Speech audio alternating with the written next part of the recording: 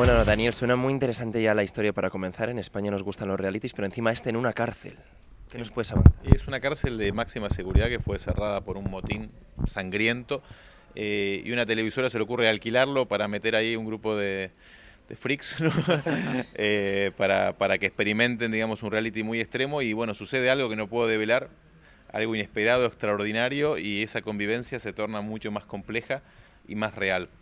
Eh, y de alguna manera lo que la serie cuenta son como estos ocho personajes que creen poder escapar de sus fantasmas entrando en un reality, que es algo que suele suceder, en realidad terminan encontrando sus fantasmas, sus miedos en la mirada del otro, en el espejo del otro. No, no, no hay escape en ningún lado y la televisión no es un gran escape tampoco.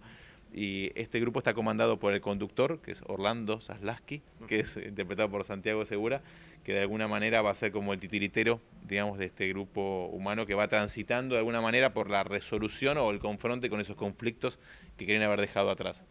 ¿Vamos a tener personajes que podríamos ver en un reality de verdad o que ni nos podríamos imaginar? Sí, sí, está ahí, están los, digamos, están cercanos a los estereotipos, digamos, que suelen estar en la mayoría de los realities, sí, pero que después atraviesan situaciones que no son las de los realities. Son 10 capítulos, ¿de cuánta duración más o menos cada uno? 50 minutos. ¿Crees que las series españolas deberíamos aprender de este tipo de duración, de series tanto americanas como latinoamericanas, hacerlas más cortas? Porque ahí llegamos a sobrepasamos la hora muchas veces. Sí, sí, yo no voy a dar clase de cómo hacer televisión en español, que lo hacen muy, muy, muy bien. Eh, a mí la duración de los 50 minutos este, hasta la hora me parece que es una, es una buena duración para quedarte con ganas de ver el próximo capítulo, que es lo que te tiene que provocar la televisión, esa adrenalina de, seguir contándome la historia, ¿no? de las mil y una noches. ¿no? Me parece que, cuando, eh, que es, es, un, es un buen tiempo para, para, para un drama, por supuesto, este, cada, cada proyecto tiene su, realidad y su necesidad. ¿no? ¿Cuál está siendo la cosa más compleja o más surrealista que os ha pasado en estos días de rodaje? Este corte de luz, que es la primera vez que ha ocurrido, creo.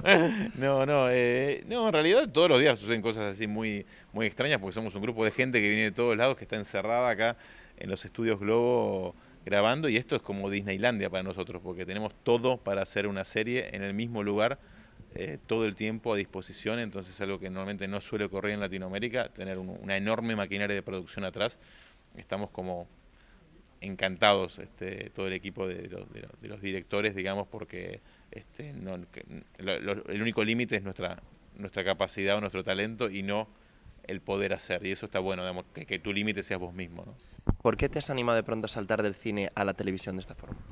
Yo te confieso que no hay mucha diferencia. En realidad, eh, empiezas el día, vas a un decorado y tienes que contar una secuencia que tiene que conmover, en el sentido más amplio de la palabra, ¿no? Tiene que emocionar.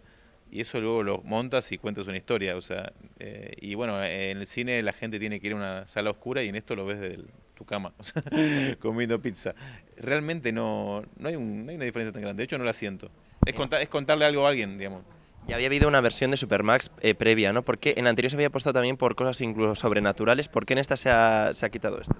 No, tiene que ver con lo que me interesa cada uno. A mí, a mí, a mí me interesa mucho más la, eh, ciertos aspectos psicológicos, digamos, de la, de, la, de la, psicología de los personajes y esas tensiones, que aspectos más sobrenaturales y de, terror. Entonces elegí otro camino y tuve la libertad en Globo de hacerlo. Muchos admiran tus proyectos, admiran tus películas, pero tú cuáles son esas series referentes que tienes? ¿Cuál dices? Estas para mí son la referencia. Eh, ahora estoy como enloquecido con The Americans, digamos, este, me gusta mucho Bloodline y nada, tengo, digamos, mm, tengo como, como, como gustos muy eclécticos, este, en no quiero nombrar todas porque los voy a, los voy a aburrir, pero tengo como, pero tengo también muy poca paciencia. No soy esa persona que se consum que, esperan, o sea, veo un capítulo y si no me engancho no le doy una oportunidad al segundo. Así que creo, creo que el público hacer lo mismo con el proyecto, con lo cual este, le, tengo la, le tengo la misma paciencia para las otras series que para las que hago yo. Digamos. Creo que realmente hay algo de, que tiene que conmover en cada capítulo para, para ver el segundo y esa tensión, esa adrenalina de seguirme contando tiene que estar presente. Rubén Cortada, por su físico, muchas veces sufre el hecho de que le juzguen o digan, no es tan buen actor, no está. Tú que trabajas directamente con él, ¿cómo le calificas? Es genial, me parece Rubén que justamente tiene, tiene el problema que es muy guapo y muy alto, entonces eh, todos lo miran y no lo, capaz no escuchan el actor que tiene adentro, es una persona con una gran formación profesional y humana sobre todo.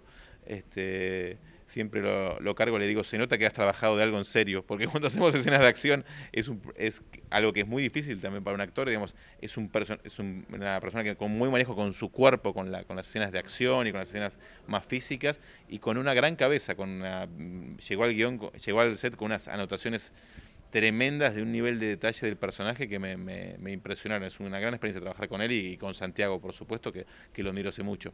Y hablando de Santiago, ¿el personaje de Santiago está inspirado en algún presentador real? Porque en España tenemos a la presentadora máxima de Gran Hermano, que es Mercedes Milán. No sé si habrá algún parecido con algún presentador de televisión. Creo que todos los presentadores deben tener en, en, su ADN alguna vuelta parecida, digamos.